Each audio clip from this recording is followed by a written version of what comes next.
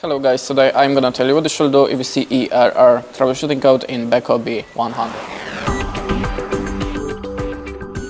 If you see the ERR problem, that means the algorithm of the security is turned on and you have to wait one, two minutes until it's gonna be uh, done. Uh, if the problem persists, call the service center. That's it. Thanks for watching, leave us a like or a comment and goodbye.